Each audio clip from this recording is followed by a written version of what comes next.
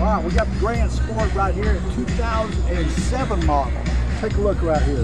This is pearlescent white right here. And you got your LED lights up here and plastic. This is plastic right here. And talking low the ground, this car, we're gonna find out how, how low to the ground this car is. And that's low to the ground, right there, right, uh, Corvette rotors right here and all, Corvette wheels, and your LS2 Corvette engine right here.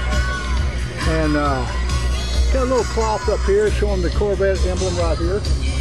And uh, come around this way, we got maroon inside here, and he's going to change the interior where it has the entertainment center inside here. And this car has a stick shift, as you see. Nice. Nice, nice, nice. Two, for 2007, and the top does come off the car. The top comes off, it goes right in here, just like this right here, right there. And uh, but I know, uh, and I could lay in there myself with a color and a glass of wine. That'd be good. Here we go. Take, take a look down here. You got your four big exhaust right here. Nice, nice, nice, nice. You know what? I tell you what, that's another car gone by the wayside.